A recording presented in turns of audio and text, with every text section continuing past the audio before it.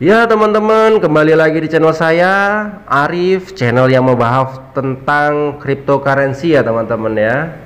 Nah kali ini saya ingin membahas koin Solana teman-teman atau SOL ya.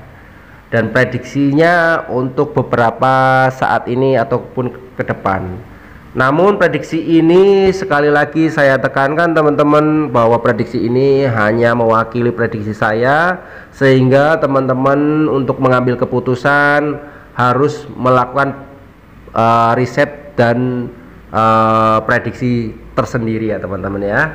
Nah, ini teman-teman koin yang lagi naik hingga 12.000% tahun ini teman-teman ini koin yang sangat uh, tinggi kenaikannya teman-teman ya. Hingga disebut juga adalah pembunuh Ethereum teman-teman. Kenapa disebutkan pembunuh Ethereum teman-teman?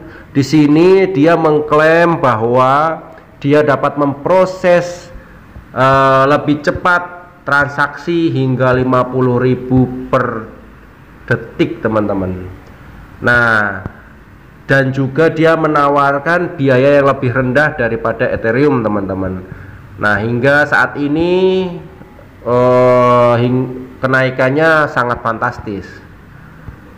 Nah diduga juga teman-teman kenaikan solar ini terjadi karena dia melakukan uh, breakpoint uh, sedang berlangsung di Lisbon Portugal teman-teman jadi promosinya besar-besaran seperti itu ya teman-teman ya. Nah di sini juga kita lihat ya teman-teman Cardano dan Solana untuk perbandingan terperinci dari dua blockchain paling populer saat ini teman-teman. Pada video ini kali ini kami akan menganalisa prospek masa depan token Sol menggunakan pasangan perdagangan USDT dan Bitcoin teman-teman. Jadi kita perbandingkan Sol dengan USDT dan juga Bitcoin teman-teman ya. Nah, di sini teman-teman seperti ini gambar tersebut. Nah, di sini awal tahun ini perdagangan SOL ini dibuka dari harga 2 dolar, teman-teman. Nah, namun saat ini diperdagangkan 100 kali lipat daripada pembukaan pertamanya, teman-teman Nah, nilai tertingginya itu dia sampai tembus di angka 260 dolar, teman-teman. Bayangkan dari 2 dolar menjadi 260 dolar. Koin ini diperdagangkan sekitar 245 dolar, teman-teman. Hebat sekali ya, teman-teman ya. Kenaikannya sangat fantastis, teman-teman. Nah, di sini juga saya memberikan gambaran kenaikan Sol USDT pada grafik uh, one day ya teman-teman ya. Nah sejak bawah pada bulan September Solana telah berada di tren naik yang solid teman-teman. Membuat tren yang tertinggi. Nah di sini kita lihat grafiknya teman-teman ya. Nah di, di grafik ini melihatkan untuk uh, perubahan titik supportnya teman-teman ya Nah, sebaiknya di sekitar zona penerawangan yang disebut untuk mengubah menjadi titik support. Nah, ini teman-teman boleh sebagai pertimbangan untuk membeli uh, Solana, teman-teman. Nah, di sini juga saya berikan grafiknya dalam grafik 4 jam ya, teman-teman ya. Nah, seperti ini grafik 4 jamnya, teman-teman bisa lihat sendiri untuk grafik 4 jam menunjukkan titik terendahnya pada bulan Oktober ya teman-teman ya. Di 24 Oktober. Beberapa hari kemudian uh, melihat pengujian ulang yang berhasil dari titik terendah tersebut dan harga naik hingga 40% setelahnya teman-teman. Nah pada tabel diagram tersebut teman-teman tabel grafik tersebut nah teman-teman bisa melihat uh, untuk puncaknya ya teman-teman ya. Uh, dari bearish dan bullishnya itu uh, tersembunyi sedang terbentuk saat ini teman-teman.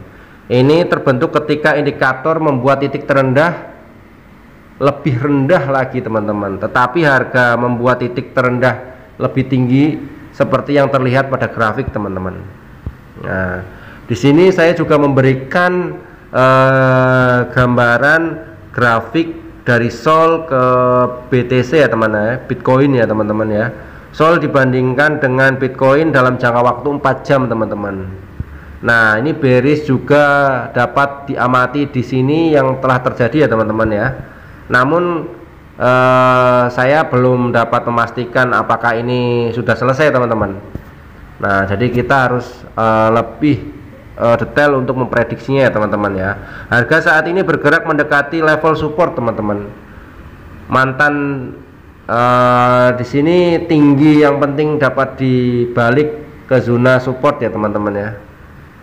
Nah jika zona ini memang menciptakan support teman-teman untuk Solana maka uptrend dapat berlanjut dalam beberapa minggu mendatang teman-teman. Nah jadi uh, kalau memang nantinya akan menembus di titik support ya kan maka tren naik pun itu akan terjadi kembali prediksi kita teman-teman. Nah di sini saya akan meringkas sedikit uh, ringkasan prediksi tem saya teman-teman. Jadi ini untuk prediksi saya ini tidak uh, sebagai acuan juga ya teman-teman ya. Ini hanya prediksi yang saya keluarkan tersebut teman-teman. Nah di sini harga sol meningkat dengan peluncuran dari acara di Lisbon teman-teman.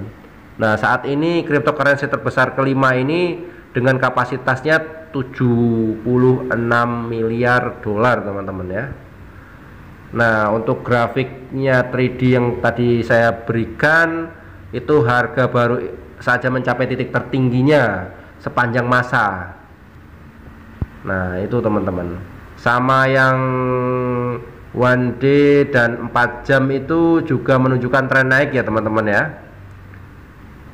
Nah dan tadi yang sol dengan uh, bitcoin tadi akan mengubah resistennya uh, resistensinya itu penting menjadi pendukung teman-teman. Jadi teman-teman juga prediksikan uh, untuk berinvestasi di sol juga itu tergantung prediksi teman-teman ya. Nah cukup sekian teman-teman uh, video yang saya buat ini. Semoga bermanfaat. Apabila bermanfaat jangan lupa subscribe ya teman-teman ya. Terima kasih teman-teman